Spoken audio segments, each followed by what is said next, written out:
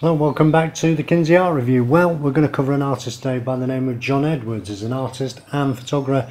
Photographer hails out of Nuneaton in Warwickshire. This guy is incredible. Welcome to his weird and wonderful world. So this is not my usual style of work that I like, but I just love his work. I mean, it's quite psychedelic. Some people call it abstract, but it's not. It's not abstract. Abstract's when you take something out. This is full of vibrance. It's full of life.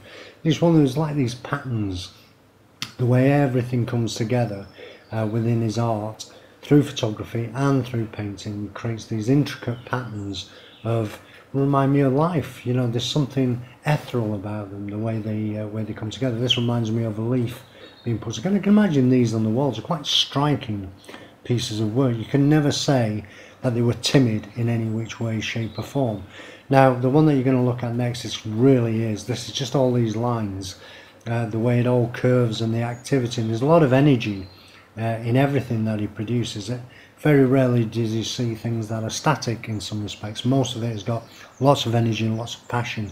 This one reminds me of the um, the roof of some of these great cathedrals, and there's the way he's touched the light on it as well. Just made an intricate pattern out of it. Or just there's something alluring about it.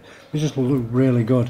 And then you look at this one, which is just it takes you down a spiral. It's like looking at a galaxy, the way the galaxies spin round. This is only my interpretation, not quite sure um, what he was after when he put them together, but it feels like a galaxy, the way the galaxies wrap around.